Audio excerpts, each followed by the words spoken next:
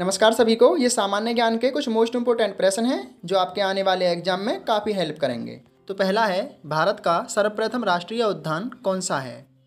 तो इसका सही उत्तर होगा, जिम कार्बेट नेशनल उद्यान, जिसकी स्थापना 1936 में हुई थी। तो नेक्स्ट क्वेश्चन है, पृथ्वी पर पहुँचने से पहले ओजोन परत किन किरणों को अवशोषित करती है?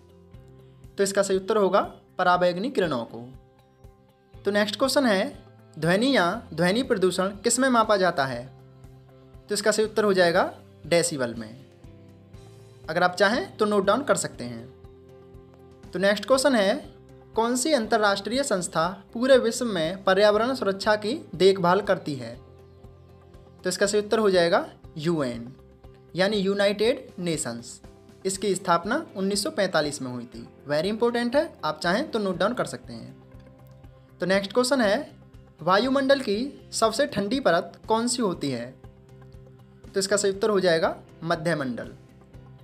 अगला प्रश्न है, भारत में प्रोजेक्ट टाइगर की शुरुआत कब हुई थी? तो इसका सही उत्तर हो जाएगा 1973 में, यानी 1973 तो प्रश्न सभी महत्वपूर्ण हैं, इसलिए सभी प्रश्नों को अच्छे से पढ़िए।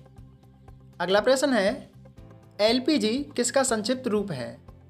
तो इसका सही उत्तर हो जाएगा लिक्विफाइड पेट्रोलियम गैस, यानी एलपीजी की full form liquefied petroleum gas. तो नेक्स्ट क्वेश्चन है, सीएनजी संक्षिप्त रूप किसका है? तो इसका सही उत्तर होगा, कॉम्प्रेस्ड नेचुरल गैस।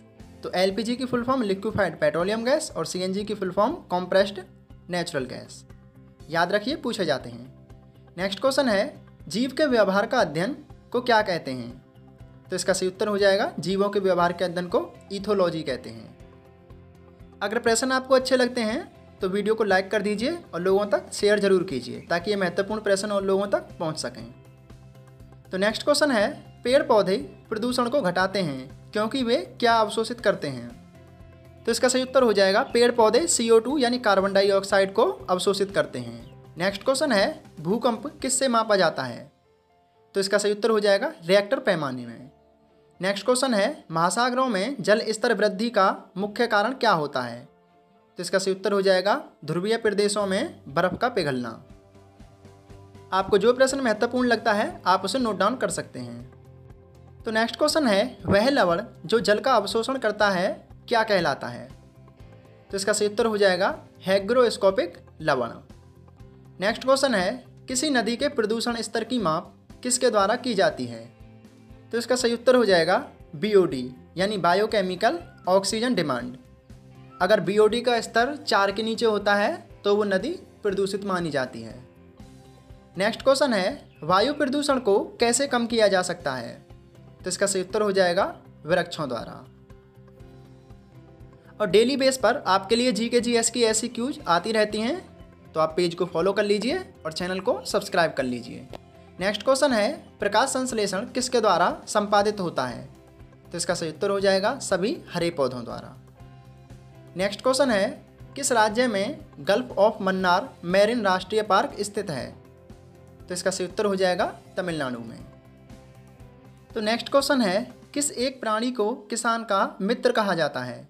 तो इसका सही उत्तर हो जाएगा कैंचुए को, क्योंकि कैंचुआ मिट्टी को कंपोस्ट करके उसे उपजाऊ बनाता है।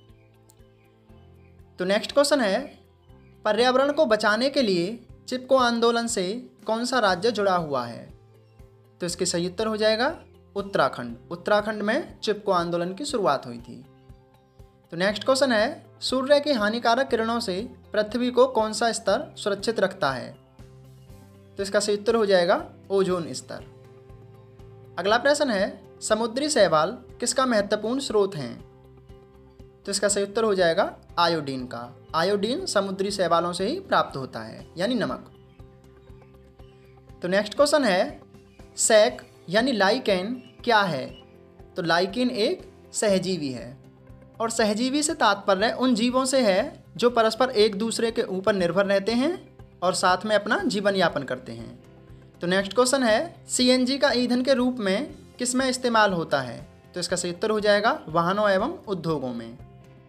तो लास्ट क्वेश्चन है, भारत के किस राज्य में विशाखापट्टनम बंदरगाह स्थित है?